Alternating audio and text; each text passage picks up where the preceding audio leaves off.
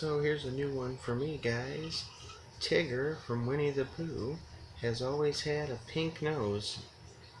Yep, on some costumes it's black, but he's always had a pink nose, the cartoon.